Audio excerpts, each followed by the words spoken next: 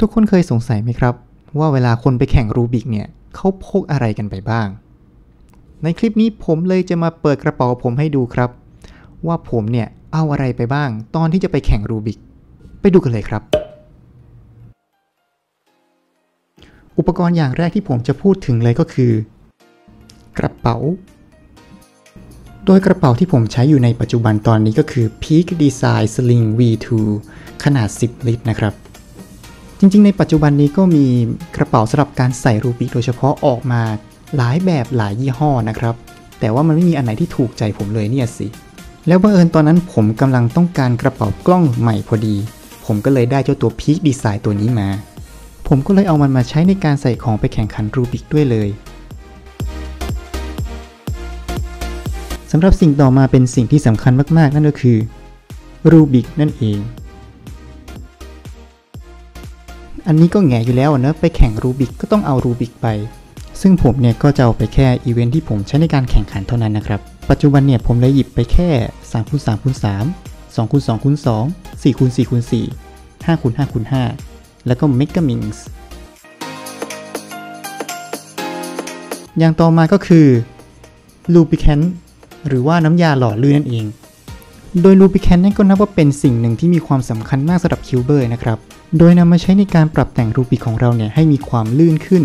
หรือว่าหนืดขึ้น เพื่อให้เข้ากับการเล่นของเรา โดยปัจจุบันเนี่ยผมจะพกลูปไป 3 ขวดหลักๆ ด้วยกันนะครับ นั่นก็คือ l u b e s XMT10 Aeron Light แล้วก็ Q Q อุปกรณ์ชิ้นต่อมานั่นก็คือ ผ้าปิดตา ก็ไม่มีอะไรมากครับ มันก็แค่ผ้าปิดตาธรรมดาธรรมดานี่แหละ ก็เพราะว่าตอนนี้เนี่ยผมได้เริ่มหันมาแข่งขันอีเวนต์ปิดตานะครับผม ก็เลยต้องมีพกผ้าปิดตาเอาไว้ด้วย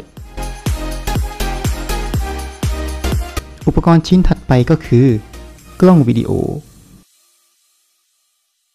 แน่นอนล่ะครับว่าทุกคนย่อมอยากจะบันทึกโมเมนต์ดีๆ ของตัวเองในการแข่งขันเอาไว้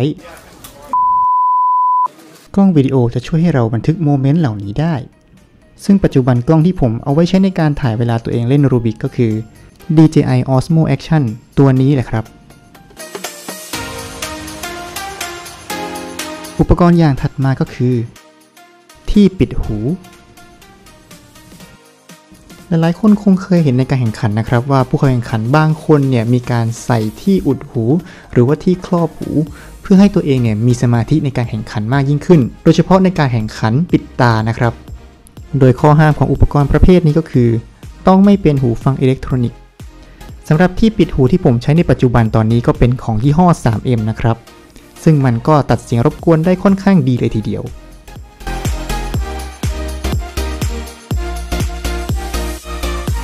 อุปกรณ์ชิ้นถัดมาก็คือ hand warmer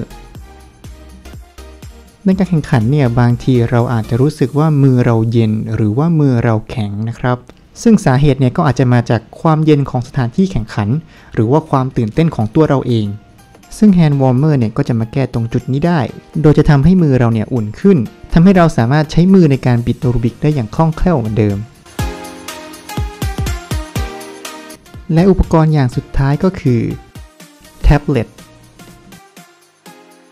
เอาจริง ๆ แล้วแท็บเล็ตเนี่ยผมเอาไว้ใช้แค่เปิด Scramble ดูกับใช้ในการจับเวลาตอนซ้อมเท่านั้นเองนะครับ ซึ่งบางทีเนี่ยคุณก็ไม่จำเป็นต้องพกแท็บเล็ตไปก็ได้ เพราะว่ามันก็สามารถทำได้ในมือถือเหมือนกัน และนั่นก็คืออุปกรณ์ทั้งหมดที่ผมพกไปในการแข่งขันรูบิกนะครับผม แล้วทุกคนล่ะครับ พกอะไรกันไปบ้าง ถ้ามีใครพกอะไรที่ไม่เหมือนกันแล้วอยากจะแชร์ แล้วก็สามารถคอมเมนต์ได้ที่ด้านล่างเลยนะครับผมแล้วคลิปนี้ก็ขอจบลงแต่เพียงเท่านี้ครับผม พบกันใหม่ในคลิปหน้านะครับ สวัสดีครับ